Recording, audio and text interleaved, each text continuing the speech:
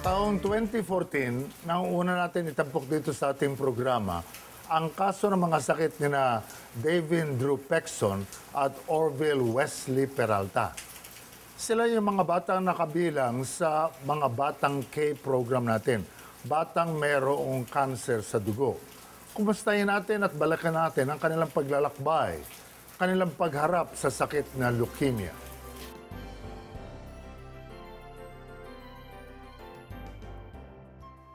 Taong 2013 na ma-diagnose na mayroong acute lymphocytic leukemia si David Drew Pexon.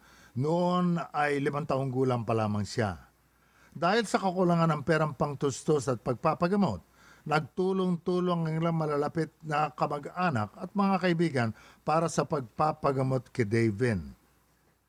Noong Agosto 2014, nagsimula ang chemotherapy ni Davin. Ah, kinausap naman po kami ng doktor bago po mag-chemo si David kung papayag daw po kami i-chemo. Kasi sabi daw po ng doktor naman na 80% po na gumagaling po ang bata. Siyempre po nalungkot kasi sobrang alaga po siya mula nung maliit. Talagang ah, hindi mo madumihan tapos ma malalaman mo na ganun po yung sakit niya. Masakit po sa amin. Napabilang si David sa mga batang K o batang merong cancer sa dugo na sinusuportahan ng kapwa kumahal ko. At mula sa tulong na nakamit, naipagamot ng pamilya ni David siya. Nakalbo po siya, sumobran taba, tapos ugali po talaga. Dahil sa gamot po na pumapasok, yung nagbago ng paunti-unti ay makulit. Talagang kailangan araw-araw hihingi ka po ng haba po ng pasensya sa Panginoon. Tanging sa Panginoon lamang sila kumakapit para makayanan ang anumang dagok na dumating sa kanilang pamilya. Sa isa't isa tapos lalo-lalo na po sa Panginoon. Siya po parang naggumising sa amin na kumapit po kami. Saka meron po kaming kasamahan sa sa hospital po na mga nauna po nag-chemo sa amin. Pinalakas po yung loob nila. Sabi sa amin na kaya, kaya nyo yan, marami tayong mahingian ng tulong. Sabi niya. Pero dahil na rin sa mga taong nagmagandang loob at tumutulong ng tuloy-tuloy sa pagpapagamot kay David, malaki na ang kanyang pinagbago mula nang siya ay magsimula sa kanyang chemotherapy. Ano po, bali graduate na po siya. Praise God po. Four years po siya nag-chemo.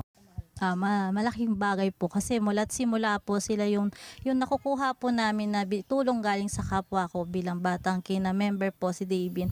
Ah, yung monthly po na pang laboratory niya, pang chemo po niya na nakakatulong po ng malaki sa amin pambayad sa doktor. Mm-mm. Ah, nagpapasalamat po kami lalo po sa kapwa na nakahingi po kami lagi ng tulong buwan-buwan.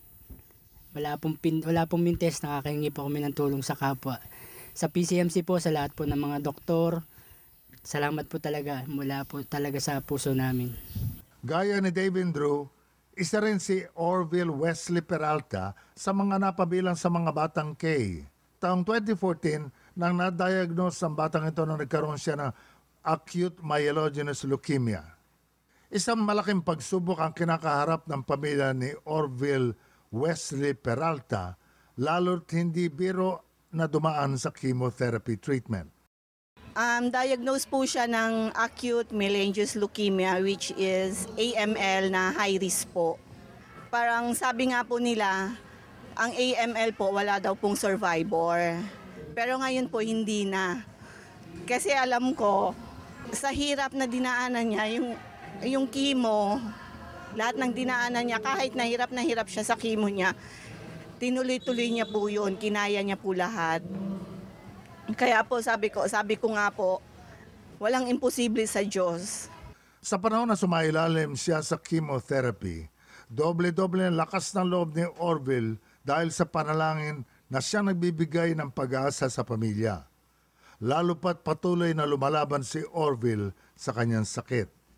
Parang doon ako talaga na nagpursige nung sinabi niya sa akin na one time po kasi after ng chemo niya, um, 10 days po kami sa hospital. Nag-chill siya. Natakot, takot na takot po talaga ako noon. Sabi niya po kasi nahihirapan siyang huminga, nahihirapan na siya.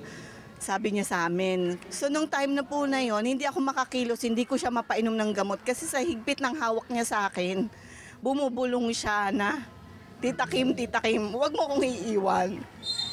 Kakayanin ko to, basta wag mo akong iiwan. Kaya po, doon po sabi ko sa kanya, um, kayanin mo, lumabang ka, hindi hindi ka namin bibitawan. Ilalaban ka namin. Kala ko po mamamatay na po ako.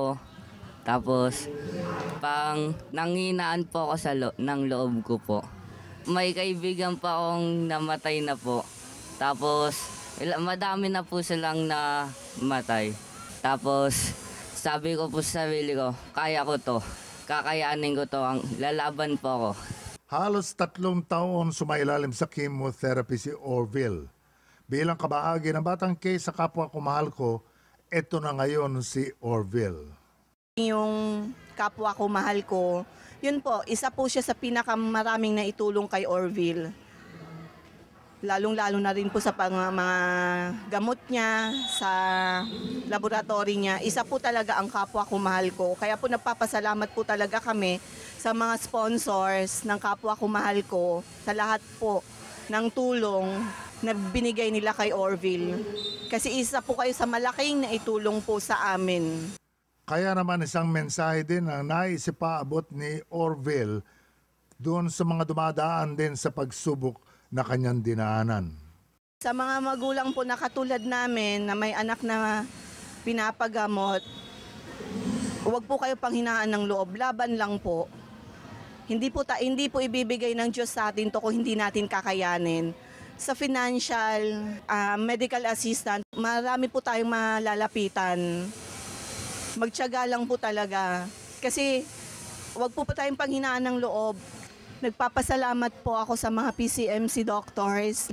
Maraming maraming salamat po sa patuloy na pagtingin nyo kay Orville, sa pagbibigay pa rin ng lakas ng loob. Laban lang po. Salamat po sa lahat din ng tumulong kay Orville.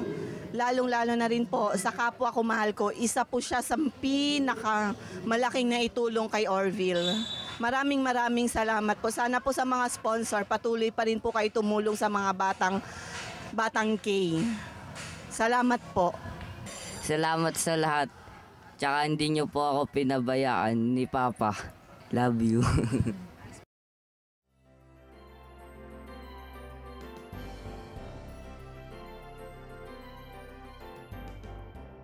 Naging matagumpay ang naging gamutan nila Davin Drew at Orville. Ito'y dahil sa tulong at panalangin ninyo. Natapos din ang kanilang chemotherapy.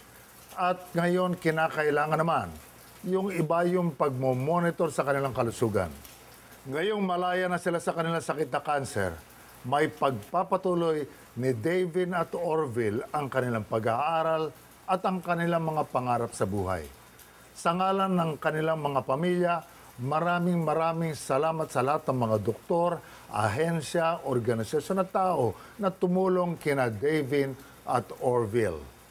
Panalangin rin namin ang patuloy na paggaling ng iba't ibang mga batang tinutulungan po ninyo sa Batang K o Batang May Cancer Program natin.